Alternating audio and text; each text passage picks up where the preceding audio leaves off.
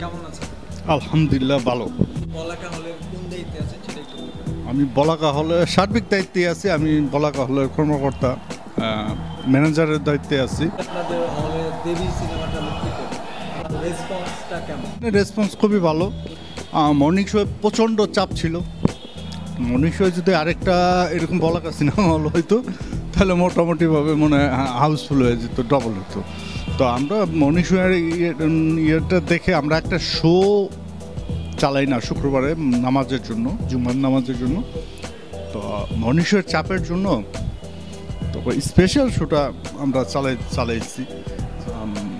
Response খুবই ভালো। খারাপ না দর্শক যাদেরকে জিজ্ঞেস করতেছি মুভিটা কেমন আহ, আপনাদের কাছে কি ভালো লাগছে কি না চলবে মুভিটা বাজারে। হ্যাঁ তারা সবাই বলতেছে, না, খুব ভালো দেখবে দর্শক। আমরা কাউন্টার থেকে, আমরা অগ্রিম টিকিটও দিচ্ছি না, কারণ কি স্টুডেন্টরা দেখা যাচ্ছে অগ্রিম টিকিট হাউসফুল হয়ে গেছে। তখন স্টুডেন্টরা আসলো, আমাদের, ওরা তো কন্টিনিউ আমাদের হলে ছবি দেখে। আইসা যদি টিকিট না পায়, তারা হতাশ। তারা দেখা গেছে যে, আমরা প্রতিদিন ছবি দেখতেছি, আজকে হাউস আগে অন্য অন্য জায়গায় আপনি সেল করে ফেলছেন। এই যে, এইটার জন্য আমরা কন্টিনিউ শ্যুগুলো প্রত্যেকটা শ্যুতেই টিকিট আমরা অগ্রিম টিকিটটা দিচ্ছি না। যে শ্যুতে চলবে সেই শুয়ের টিকিটটাই দিচ্ছি। যদি অগ্রিম দিতাম, তাহলে হয়তো বা আমাদের শুক্রবার টোটালটাই ফুল যেত, শনিবারও ফুল হইতো। আই থিঙ্ক এরকম আমাদের চিন্তাধারা।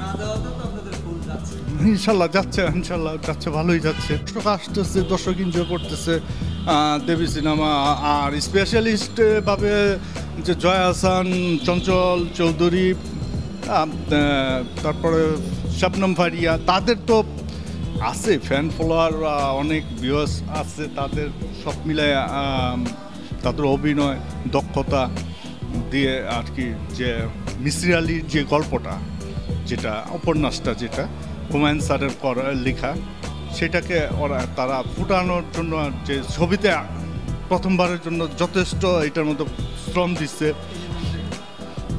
আর এটা প্রচার প্রচারণা তো আপনারা জানেন যে কীভাবে করছে, বিভিন্নভাবে বিভিন্ন ক্যাম্পিংগুলো করছে, বিভিন্ন স্টাইলে ক্যাম্পিংগুলো করছে, যেটা সব কিছু চমক ছিল।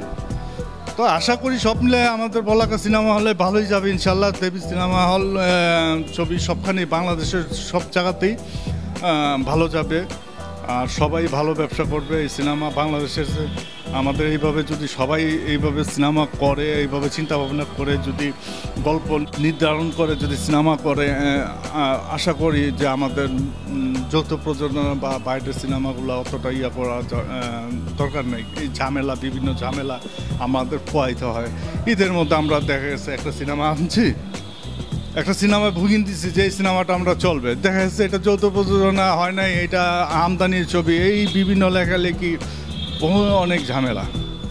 তো আর্ট ফিল্ম বেশি করে বানাক, যে আমাদের যে দৈনন্দিন জীবনের যে চাওয়া পাওয়া, যা আমরা যা চাচ্ছি, দর্শক মেসেজ পাওয়া যায়, আমাদের শিক্ষামূলক কিছু মেসেজ থাকবে চেঞ্জেবল কিছু থাকবে, ঠিক আছে? তাহলে দর্শক দেখবে ছবি।